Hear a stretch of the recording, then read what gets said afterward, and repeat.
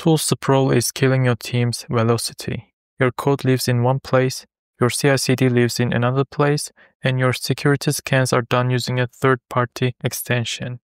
Today, the fight for the ultimate developer workflow comes down to two giants GitHub and GitLab.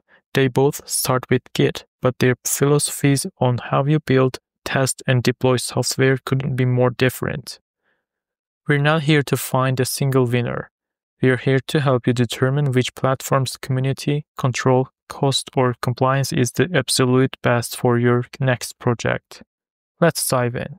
Before we continue, I want you to know that this channel is all about growing as software engineers together. If you want to join, subscribe now. To understand the choice, you have to understand the philosophy. Think of it this way GitHub is the best of breed marketplace. GitHub's focus is clear be the best code repository, host, and the world's largest collaboration hub. For everything else, like CI CD, monitoring, and security, they offer massive marketplace of third-party integrations, letting you build your own custom toolchain. It's flexible, but it's fragmented. Now look at GitLab. GitLab is the all-in-one DevOps platform. Their entire mission is to deliver the entire software development lifecycle from planning to monitoring in a single unified application. If GitHub is a sophisticated set of Lego bricks, GitLab is a tightly integrated Swiss Army knife. This core difference impacts every single feature we're about to discuss.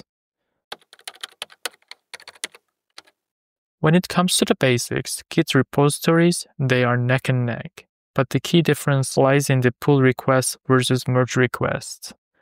GitHub pull requests are code centric. They are focused primarily on code review, discussion, and merging. They are streamlined and simple. GitLab merge requests are DevOps centric. When you open a merge request, you don't just see code changes.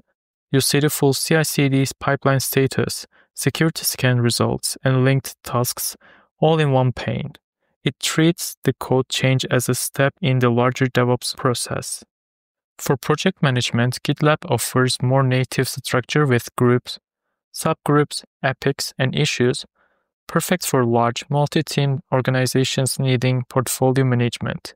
GitHub's recently enhanced Projects V2 offers more fluid, flexible boards, but you often need to link out to Jira or other tools for true hierarchy.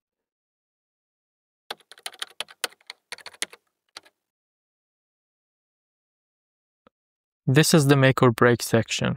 When choosing a DevOps platform, you are choosing a CI CD platform, and these two are completely different beasts. Let's start with GitHub Actions. It's event driven, meaning any event, a push, a pull request, an issue creation can trigger a workflow defined in a YAML file. Its superpower is the massive marketplace. Need to deploy to AWS or send a Slack notification?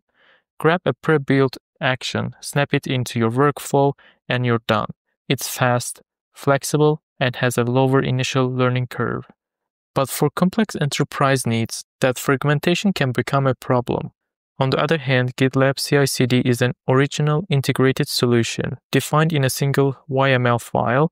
It's designed for complex structured pipelines. GitLab excels at advanced features like merge trains, which ensure your main branch never breaks by queuing and testing changes before the merge. It's also native. Security scanning, environment management, and artifact storage. It's all baked into the platform.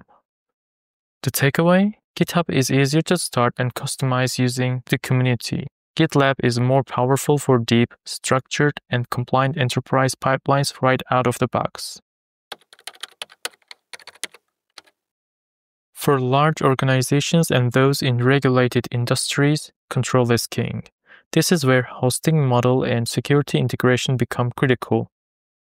GitHub is fundamentally a cloud first company. The most feature rich version is their SaaS offering. If you need to self host, you must pay for the expensive GitHub Enterprise Server license. This is a non starter for many smaller companies or those with strict budget. GitLab, however, has a dual focus. You can use their SaaS offering, or you can leverage the free open source community edition for self hosting on your own infrastructure. Security is also integrated differently. GitHub Advanced Security, while powerful with tools like CodeQL, often requires separate configuration or paid add-ons. GitLab is a DevSecOps platform. Its top-tier plans integrate SAST, DAST, and dependency scanning directly into the CI/CD pipeline, making security a required stage of the process, which is essential for audit and compliance trails. Finally, let's talk about costs. Both offer excellent free tiers with unlimited private and public repositories, but the devil is in the CI/CD minutes. GitHub is more generous with free CI/CD minutes for private repos, offering 3000 minutes. GitLab offers significantly less at 400 minutes, often forcing heavier users to pay or set up their own self-hosted runners much sooner. Moving to paid plans, GitHub's team plan is generally more affordable for core features. However, when you look at GitLab's premium and ultimate plans, they are more expensive, but they bundle significantly more features, including advanced CI/CD, DevSecOps, and portfolio management, making their value proposition stronger if you plan to use the full DevOps pipeline. The key is looking at the total cost of ownership. With GitHub, you pay for the license, then you pay for third party integrations. With GitLab, you pay one price for the platform and everything is included. So, which one is right for you? The answer is that it depends. Let's break down the definitive choice. Choose GitHub if your primary focus is community and open source. If you want a flexible, best of breed approach and are comfortable plugging in services like Jenkins or Jira, and if your workflow is comfortably cloud first. Choose GitLab if you demand an all in one platform to minimize tool sprawl and context switching. If security and compliance is non negotiable and you need native DevSecOps.